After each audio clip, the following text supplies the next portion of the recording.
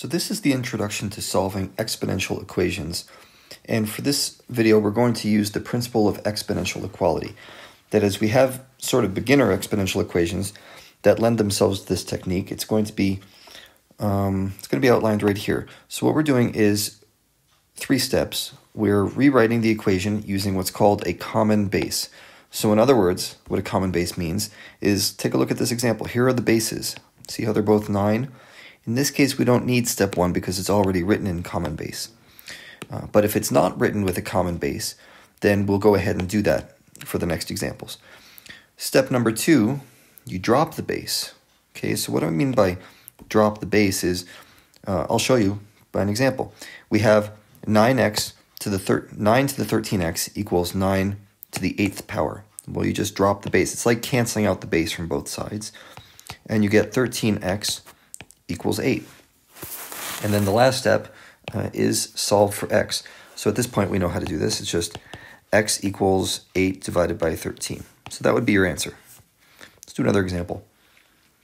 So in this one, we have e, and you could think of that as a variable, or you could think about it as, uh, you know, the number e equals 2.7128, whatever, blah, blah, blah.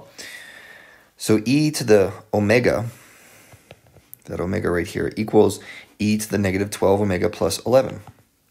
Okay, and you can see once again, I already have common bases, so I don't need that first step from this procedure up here.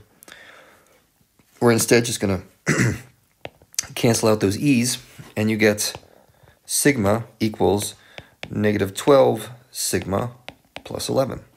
Okay, well, now we just add 12 sigma to each side. I'm sorry, omega, 12 omega to each side, uh, plus 12 omega to that side, and we get 13 omega on the left and 11 on the right. So we divide each side by 13, and you just get omega equals 11 over 13. Okay, so that's our answer to number two. Number three, this starts to get a little more complicated, but it's not really that bad. If you take a moment to look at it, what do we have here? We have on the left 2 to the negative 9x minus 11, and then it's minus another 11, equals 53. And at first you might be thinking, well, there's no common bases in here, and you're right. Uh, but we can fix that. So let's try rewriting it. I know I'm going to have a power of 2 to the something on the left. Okay, but on the right, look, we can add 11 to each side, and we get 64. Now think about what 64 is. That should jump out to you as just 2 to the certain power. And if you don't have your two powers memorized, that's uh, normal, really. 2 to the 2 is 4. Uh, 2 cubed is 8 times 2 more is 16, 32, 64. So what is this?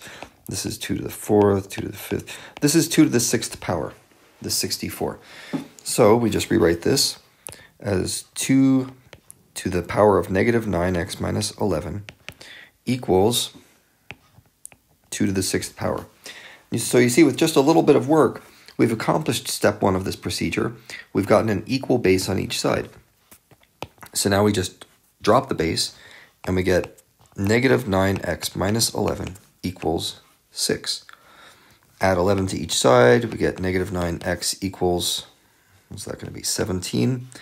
And then divide each side by negative 9, we get x equals negative 17 over 9.